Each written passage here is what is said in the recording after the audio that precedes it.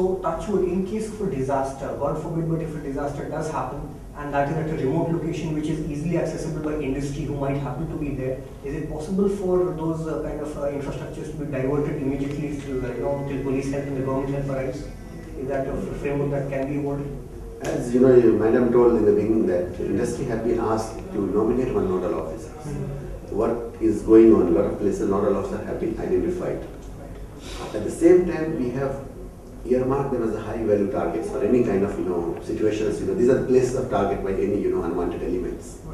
Those area we have got the, you know, properly surveyed. We have got the roadmap ready with us.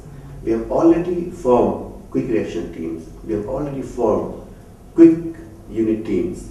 Any kind of situations, normally when Chennai, Chennai city or in the neighboring areas, within five to seven minutes, we'll be in a position to definitely respond. Five to seven minutes is an excellent benchmark, sir. And with that, Mr. Varadarajan, I'd like to ask you, sir, what role can the media play to galvanize public and corporates into this new uh, form of uh, thinking that we have evolved? In fact, as you can see, the Tamil Nadu police has uh, gone beyond its you know legacy mandate, and they are evolving new structures, new ways of thinking, virtually rethinking this process bottom up. How can the media play, play a constructive role so that all individuals are informed and can play a part in this? I think media comes in at multiple levels. Media is, is a stakeholder in society. I think uh, we, we are staffed by people who live in these cities who have a stake in it. Uh, and uh, as such, we have as much to gain by effective policing, as much to gain by uh, the uh, authorities' ability to deal with threats. But at a, at a macro level, I think the media comes in also in terms of at the at the level of preventing preventative, you know, intervention to you know, because cities face a diverse kind of diverse set of threats. Uh, terrorism or crime is one kind. Uh, communal conflagration or violence is another. Political gundaism is another. Rowdyism. Uh, this is where the media could come in in terms of inculcating a, a different kind of civic culture, so that some of these uh, some of these threats are nipped in the bud. When crises happen, I think responsible coverage of uh, uh, of, of incidents, whether they're terrorism or natural disasters or any sort of anything that's large scale. I think responsible coverage which balances the media's right and the citizens' right to be informed with uh, a certain responsibility to make sure that you don't have panic, to make sure that you don't perhaps spread information that may be useful to uh, to criminals or terrorists. I think uh, striking the right kind of balance in coverage is another important contribution that the media can make.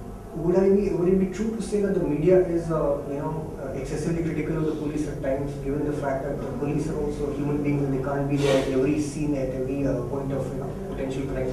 See, the thing is that, that that comes with the territory, right? I think I mean I could say and I do say that people often tend to be excessively critical of the media. That, that the media, you know, you journalists always exaggerate or you're not doing your job. I mean, everybody, unfortunately, like the police, the media is also somebody on whom everybody has an opinion. Right. Uh, and uh, so this is, you know, that's, I think it comes with the territory. But I think, uh, uh, if anything, the media tends to be, well, I think it, you know, it's, it's multifaceted. I think on some areas, or some issues, we tend to be uh, too trusting, even worshipful of the police. Sometimes we tend to be too critical. Uh, I think there needs to be balance. I think there needs to be objectivity. Uh, if the police or a police source gives a bit of information, there's no reason why that should be reported or treated as sacrosanct. I think journalists should verify uh, you know that bit of information before producing it in a news report. But at the same time, uh, you know, public at large make often make allegations against the police. There's no reason to believe that that's true either. So I think that you know we need to not suspend our uh, critical judgment, but we need to investigate uh, anything that anybody tells us, whether it's the police or ordinary citizens. And I think sometimes we don't do that enough. Here I would like to add one more thing. We're talking media. Two things I think media can perhaps train themselves or you know try to be restrained. First of all, they should never do the media trial. That's number one. Number two, they start doing investigation on their own. And that changes the path of real investigation. Two things I feel that is really hampering the overall situation in the country. Does this affect the investigative and indeed the judicial process? Yes, it Of course, yes, definitely of course, does. yes. It does. Yes.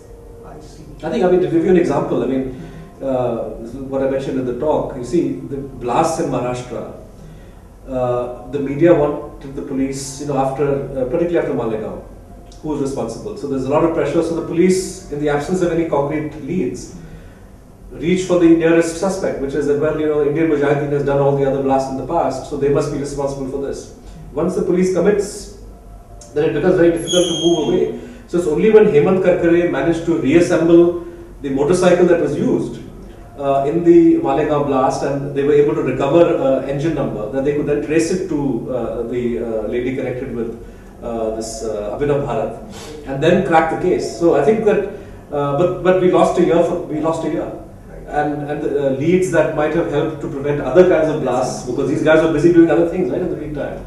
I think that is the problem that I fully endorse uh, what Mr. Akhtar is saying that I think there needs to be neither the police nor the media should jump to judgment. I think that one of the problems with Indian crime prevention has been uh, insufficient attention paid to investigation, to forensics, and you know the really painstaking, hard-working investigative work, forensic work. And I think that's we need to really push that. Right. Ms. Saran, I'd like to end this by asking you one final question. Uh, the Indian police, you know, various state police uh, systems in India uh, are basically working on a very tight budget. You know, I mean, not call it a shoestring budget, but uh, budgetary resources are very limited. Yeah, you have uh, weather extremities over here, and you have constables and people on the ground who are in, uh, you know, very adverse weather conditions, whether for traffic policing or any kind of policing. How can we as citizens or how can we as industry step forward? Is there a framework or will it be seen as that, you know, after all, uh, private people cannot go beyond the point in providing, uh, uh, you know, infrastructure or facilities to public servants? There is sort of a, there is sort of a Lakshman Rekha somewhere where you cannot cross. But how can we strike this balance? You know, because after all, policing in the dead of summer is, is a tough job and how can we go out to give them some kind of facility, some kind of respite so that they can do their job better? Um, see, over the last 10 years, actually this infrastructure building has uh, been taking place also. I think government of India and the state governments are acutely conscious of the fact that maybe what we had earlier was just not sufficient. So that infrastructure building is going on. And uh, equipment, accessories, uniform, everything that is supplied constabulary upwards has um, undergone changes for the better and uh, things are moving far forward. If industry is coming forward to offer something, whatever it be, I think it should be given to the government and that it then come on to him, to the police. It's not like you come across and say, I uh, give this to you, would you like to take it? The other place where we really appreciate a lot of help is in the training institutions, you know, where you can come forward with your expertise and give that awareness to the recruits, to the officers under training. That would